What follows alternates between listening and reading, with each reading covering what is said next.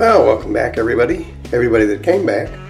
Um, today's prompt is Dr. Seuss's hat. And you can see just a little bit of yesterday's uh, drawing because uh, both drawings are on the same page. The way the book is set up, it has uh, multiple drawings on each page. So that's why you see a little bit of the top drawing in this picture. Okay, for Dr. Seuss's hat, I have Dr. Seuss in the hat.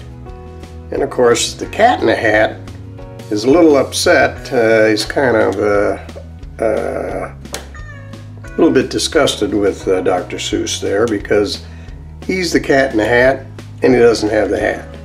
So that's today's drawing. Uh, let's take a look at the prompt for tomorrow.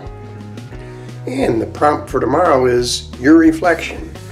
So once again, be thinking about that. Uh, leave a comment uh, on what you might uh, draw for your reflection or what you might uh, ask me to draw for it. But uh, anyway, that's the prompt for tomorrow. And I have something else we're going to start today. stay tuned for just one second. Today we're going to begin to look at a comic strip that I drew quite some time ago called Ralph Needleman Outer Space Accountant. I don't know if you can think of anything more exciting than an outer space accountant. But anyway, that's what we're going to look at. Now here are the first three panels of Ralph Needleman Outer Space Accountant.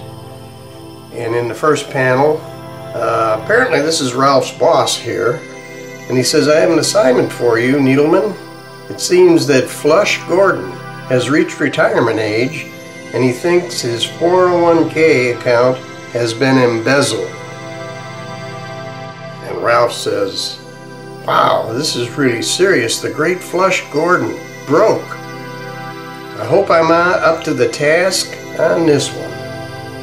Now, we're going to show uh, a few panels every day on this cartoon until we finish the entire uh, little comic. So I hope you'll stay tuned. Uh, like I say, an outer space accountant, I, don't think you can get much more exciting than, than that. So stick with me. We'll do uh, a couple panels tomorrow, and uh, I will see you then.